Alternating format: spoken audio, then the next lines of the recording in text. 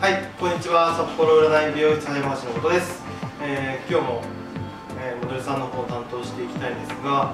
今日どういう風にしたいですか？こういう感じあ、なるほど。はい。えっ、とグレージュのスタイルで、えーブリーチをまあ大体モデルさんの写真だとブリーチ2回から3回ぐらいしてるのに、えートナーしてるような感じになってます。HiTube TV.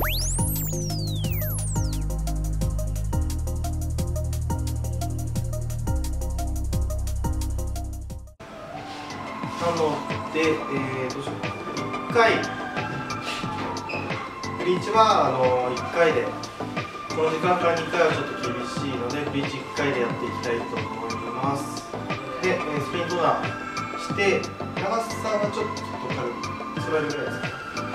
ででカットの方をちょっと見てですね、えー決めたいなと思いますね。はいということでや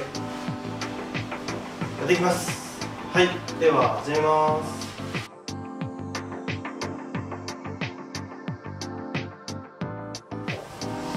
はいこれからブリーチ入っていくんですが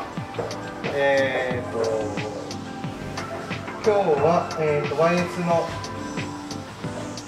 ジャンボコームで入っていきたいと思います。まあもともとえ色素が薄めなので1回のブリーチでもそれなりにいくんではないかなというふうには予測はしているんですがはい、えー、とそのような感じでやっていきます。オキシ3倍ですねブリーチパウダーブリーチの3倍にしております、えーアルギニン多少混ぜあの混ぜてますね。はいやっていきます。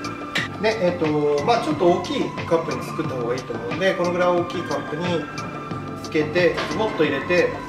そのまま塗る感じで。とりあえず、えー、と全体いっちゃっていいかなと思うのでもう直で全体いけそうな気がします。はい。なんで、えーこのままえー、とこんな感じにこういう感じですね。もう時短でやっていきます。根元1センチ開けた状態で、えー、フォームをワープさせながら塗っていくんですが後ろ見えないですね。後ろ見せます。はいズボって入れてそのまま塗っていきます。はい。でウェットにしてねやった方が、えー、塗布ムラが出ないのでそうしています、はい。体の位置を左右に振らないと、えー、綺麗にですね要はその真後ろでやってしまうとどうなるかというと,、えーとサイドの方が長く残ってしまうので、えー体をちゃんと左右に動かしていきます。はい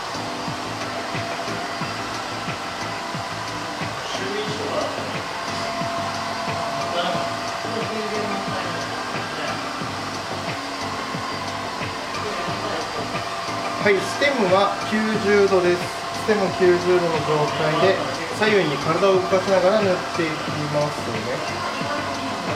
ちょっとダメージがあるんで、ちょっと髪の毛がつれちゃう時があるんですが、でブリーチやる時にちょっと最近思うんですけど、あのなんかいろんなトリートメントつけると抜けづらいからっていうんで、えーとまあ、そのまま何もつけないでやってしまう方もいらっしゃると思うんですね。僕もそうしたんですけど、ただ作業効率が悪いとあの綺麗に塗れなかったりするんで僕は今日はトリートメントで8音系のトリートメント結構つけてます。それで、えー、とスムーズに塗れるっていう方を大切にしてるのでなるべく早く塗れた方がスムーズにで綺麗にこういう風に塗れるんで、はい、次今度最後になりますなぜか前髪だけ若干暗いんで、えっと、デザインで作れてると思うんですがそこがどう抜けるかがちょっとわからない感じです。ねはい、コームスイングしながら根元1.5から1センチ開けて塗っていきます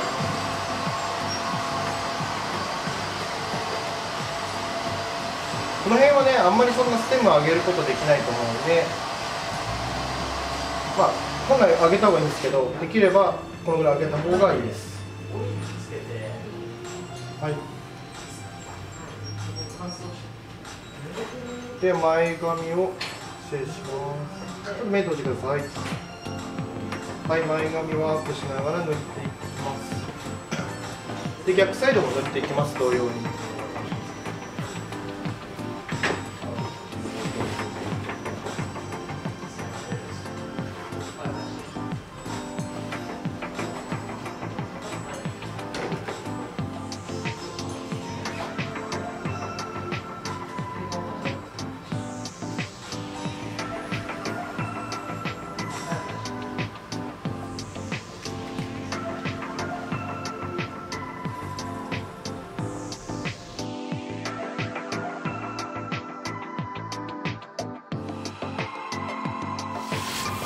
ブリーチの、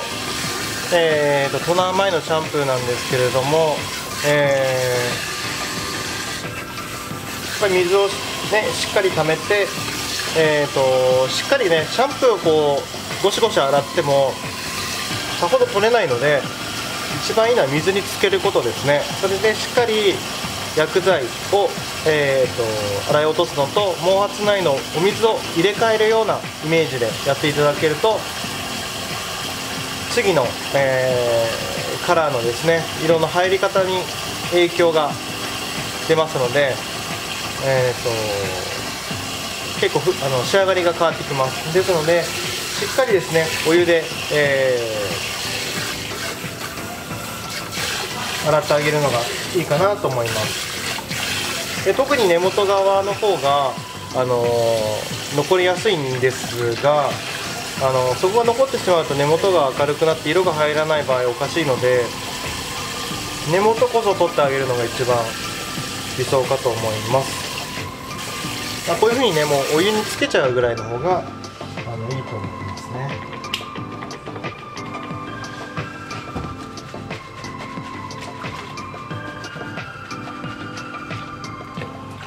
まあ、このようにですね何度もお湯をくぐらせていきながら髪を洗っていきます。まああんまりコシコシ洗うとセカンドカラーの時に、えー、頭皮が痛くなってしまう可能性があるので、まあ、あくまでもシャンプーというよりはシャンプー剤を、えー、全体にまんべんなくつけてあと水をた水にたっぷりですねつけて込むようなイメージが一番いいかと思います。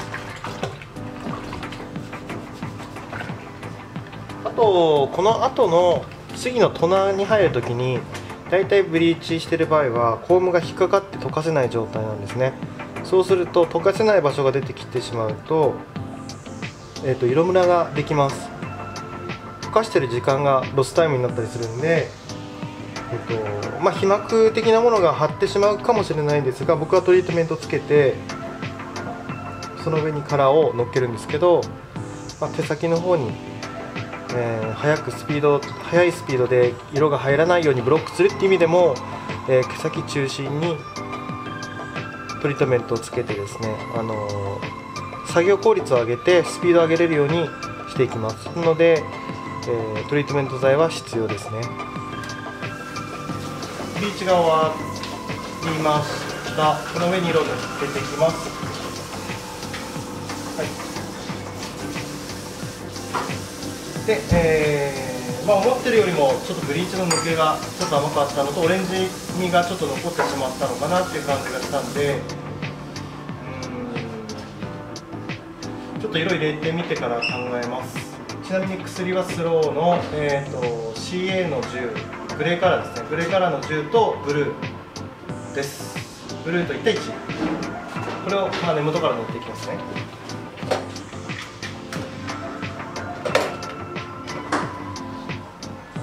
はい、今日使ってるのは、えっ、ー、と、ワイスパークのジャンプコーンを使っています。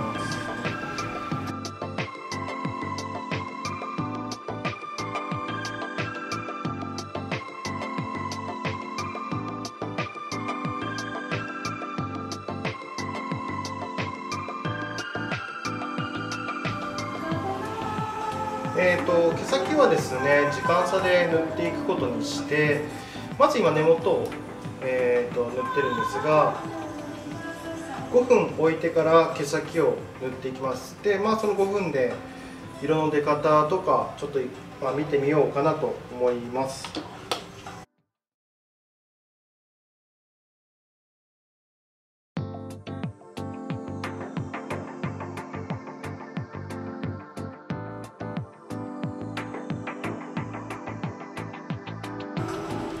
はい、で、えー、と塗り終わって毛先はこのぐらい残ってるんですがとりあえず様子見ます。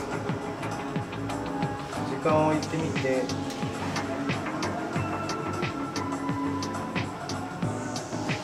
まあ、大体の予測はつくんですけどね。ただあの引きによってやっぱりちょっと出方が変わったりとかあのその辺があるんで一概には言えないんですが大体まあこのぐらいだったらこの色使えばいいよっていうのは大体わかるんですけど、まあ、たまにねあれっていう時もあるんでそれはねちょっと様子見てから毛先塗っていくことにしましょう。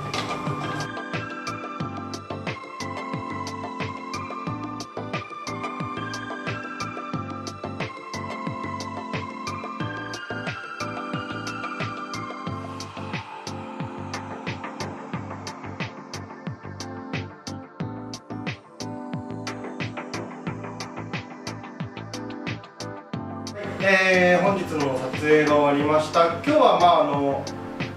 ワンブリーチで、えーまあそれなりにオレンジ味は出たんですが、えー、とカラーの方で、えーしっかり色が入ったので、えまあスムーズに終わったかなと思います。